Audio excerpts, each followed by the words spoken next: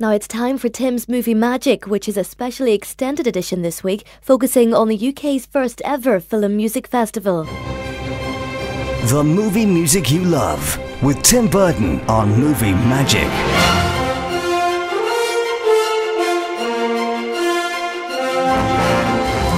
Just across the Irish Sea in Birmingham during mid July was the first ever film music festival for the UK, appropriately titled the soundtrack to your summer. Hosted by the City of Birmingham Symphony Orchestra, an event that was hugely successful and further cements the significance and brilliance of music composed for film. Their headline guest for the week was none other than Sir Anthony Hopkins, but we'll chat more about that later on. So we were there for all concerts and events and had exclusive access to some of the organisers, performers, and wonderful musicians that brought the festival to life. So, let's start at the beginning. Here we go! The soundtrack to your summer.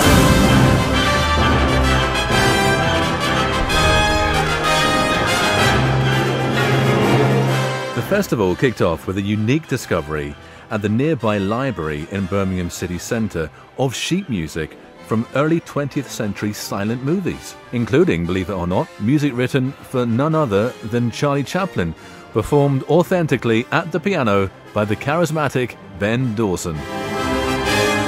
Well, I got a phone call from someone upstairs in the office saying, Oh, Birmingham Central Library have just uncovered all this stuff in their move, and it looks like it has some stuff that was written for Charlie Chaplin. And we'd like you to do a, if you can, go and sift through it and see if you can find anything worth doing in a pre concert event. So I had about an hour to go before my train back to London. So they took me down into the bowels of Central Library and piles of aging yellow crumbly music. And, and said right there it is. And that was it really. It was I mean it had been Right. vaguely categorised by composer or by publishing house um, but it was in it was just a pile of stuff that I just had to sift through in about an hour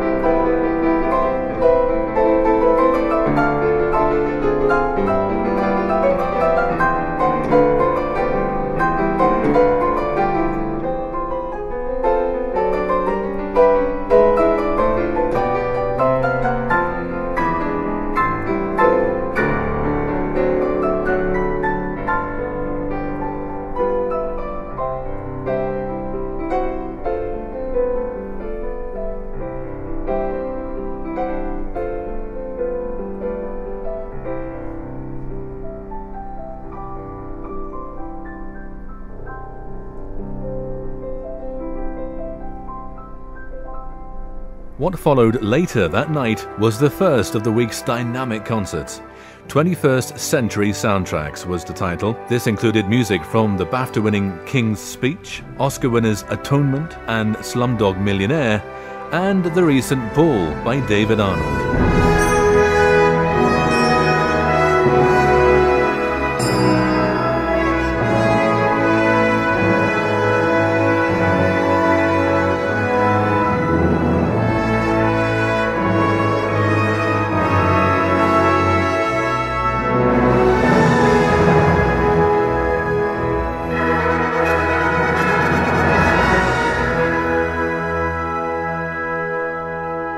World class conductor Dirk Brosse chatted with me about some of today's best film music and his joy conducting it in the launch concert. I think you recognize film music uh, as you recognize chamber music, as you recognize classical music. Film music has something, in French we say narrative, uh, narrative. So there is always a, a narration, you see.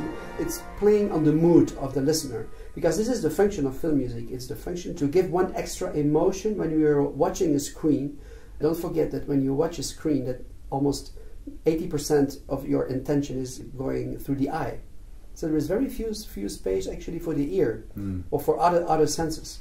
So um, uh, uh, knowing this, it's very important uh, that, to know that um, the function of the of the music. So sometimes it is to to underline, to color the, the, the emotions, but sometimes it has a role of taking over the storyteller. You know, the, the famous overscoring passages where we what we all love very very much, and uh, and, and there is a tradition, of course. Um, and I, I, I think in the 21st century, nothing really has changed a lot. Everybody is writing in the in the, in the old uh, in the old traditions, except for some people that are really bringing new sounds. Uh, for example, uh, the guy uh, Jonny Greenwood, uh, he did something really fantastic. Mm, clever. It's like a more contemporary music sound, you know. Mm. So it is possible to open up the style and to, to go in, in different directions.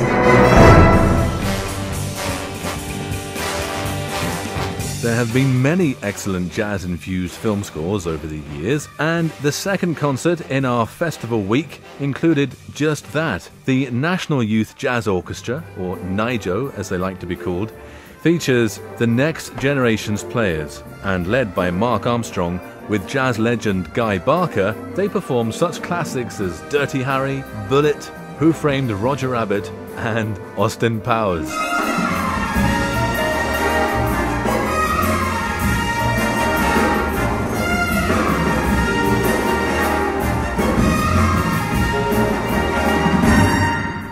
As it happens, Guy Barker played trumpet on countless film scores and was actually director Anthony Minghella's player of choice. he was um, Anthony was so encouraging, and the way he directed the musicians on the sessions was interesting. You know, he Oh, would right. again Okay, he very would hands-on. try. And, there, there was a version at the closing titles um, where we did a version of um, "You Don't Know What Love Is," which is actually how I got the gig because he heard an album I did with with strings, Oh, which was called right. "What Love Is," and Sting sang "You Don't Know What Love Is," and the opening track was a piece called "The Peacocks" by Jimmy Rowles, and it was that tune that actually got me the gig. But when I went to meet him, he said, "I'd love to have a, t- a song, a theme going all the way through the film. I'd like it to be the Peacocks." And then he discovered that the song was written four years after the film was supposed to be set. So, being Oh, the perfectionist he Right, was, he okay. said, "We can't do that." And then, so that's why you don't know what love is, because that was track two, Hmm. and um, became you hear that throughout the film and we did a version with John Martyn at the end. But when I was doing a solo I was just playing a solo with a mute in on the closing titles. And Anthony just came down and he sat down with me and he just looked at me and he explained exactly what sh- what was going through Matt Damon's head at that moment. Where he was sitting why he was alone you know how fractured he- was Mm. completely. And and then he just talked to me over until he eventually said that's how you're supposed to sound. The way he did it was quite amazing because it, it just made me play completely differently. And as I went to hear the playback Peter King the alto saxophone player he was on the session too. He was upstairs in, in the booth listening to the whole thing and I saw him sitting outside just bewildered just said I've never heard anybody direct a musician and get the emotion out the way he had. He said if every record producer would like that, it would be quite amazing. The soundtrack to your summer.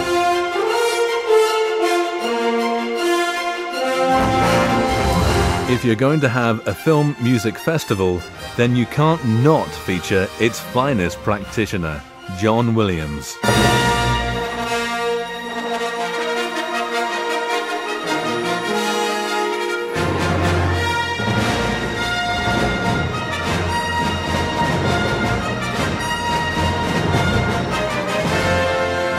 The penultimate concert saw Birmingham's beautiful symphony hall resonate with the glorious music of Williams.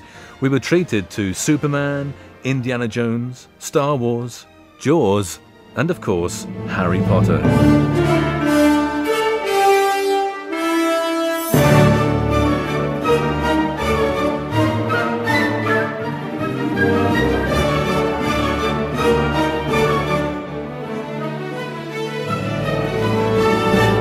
Conductor of this night was Michael Seal, a very thorough musician that studies the original film soundtrack religiously. Well, I mean, I'm a big believer in the fact that people come to hear a concert such as that, uh, the whole concert of the music of John Williams. They've come to hear the music they remember in the film, and, and either to hear the music as they remember it, or to hear the music and be transported back to the film. I don't think, uh, I might be wrong, but I'm pretty sure I'm right, that the audience hasn't come to hear Michael Seal's interpretation of Star Wars, or of E.T., or of Raiders of the Lost Ark. They've come to hear the music as they remember it. So often I will go back to source, uh, often watching the whole movie, but sometimes just clips or, or the original soundtrack CDs. But even between the movie and the soundtrack CD, there are tempo differences. Yeah. I prefer to go back to the movie. So, for instance, the end of ET, the last 10 minutes, which is called Adventures on Earth, is actually a lot quicker on the film than it is on any subsequent performances I've ever heard on CD or on disc. And even a little thing like I happened to wander into my lounge the other day and my kids were watching The Prisoner of Azkaban, and the snowball fight was just around the corner, and the, you know, we do the snowball snowball fight at the end of the first movement of the, of the Azkaban suite. It's much faster than the soundtrack recording, uh, and it just it makes a difference. You know, you get it off off straight from the movie, and it should transport people to where they should be. You know, where they remember the movie.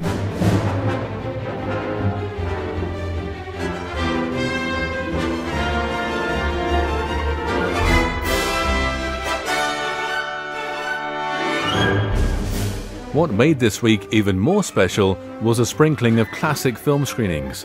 We had Dirty Harry and Bullitt to coincide with the Jazz in Film concert. The start of the week, there was The King's Speech. But the highlight was undoubtedly Steven Spielberg's classic Raiders of the Lost Ark, back on the big screen just before the John Williams concert. What could be more appropriate?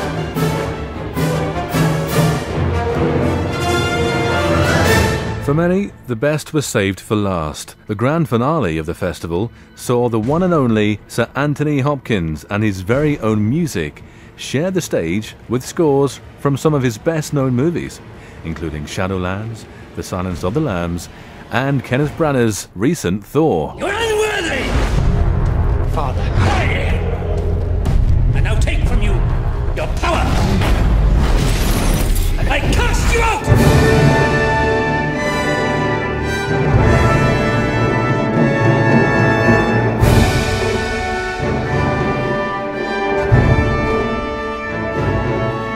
Hopkins came on stage at the start and at the end of the concert and candidly spoke about his early musical influences and inspirations.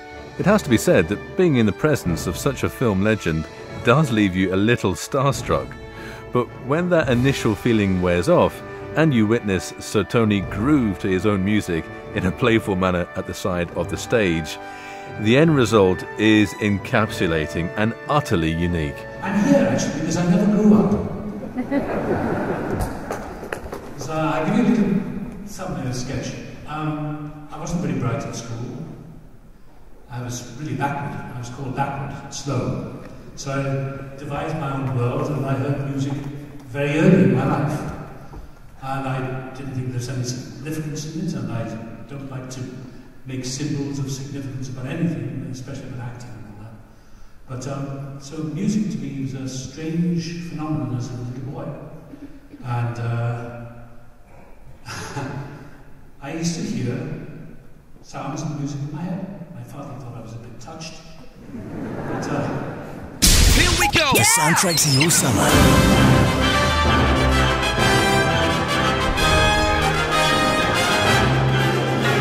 Festival was a resounding success, and there's more being planned in the future. Here's festival advisor and presenter Tommy Pearson. But I, I am a great advocate for modern film music because and I want to choose the best that we can and show that that, that you know all is not lost because there's a, a lot of feeling around that you know it's not as good as it used to be. But I really do think that with composers like John Powell and Harry Gregson Williams and Danny Elfman, Alan Silvestri, Howard Shore, Yep. you know all these guys, uh, David Arnold. Rachel Portman, Anne Dudley, Patrick Doyle. I mean, there's a lot of people out there, very fine musicians, producing some really good work. Yeah. So that's what I really want to do. I want to show people that exists.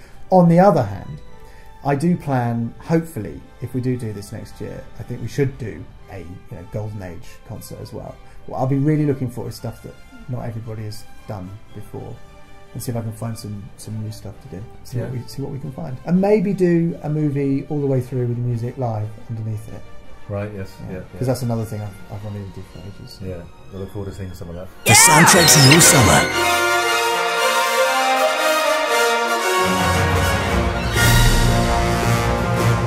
That was a special extended movie magic. We'll hopefully catch more film music festival action next year. I'm Tim Burden. I'll see you at the movies. Movie Magic with Tim Burden, the movie maestro. Weekend Extra is brought to you by Belfast City Centre retailers. Make this weekend one to remember. Stay the night in Belfast and let your hair down from £60 hotel breaks. Click go to belfast.com for what's on in town.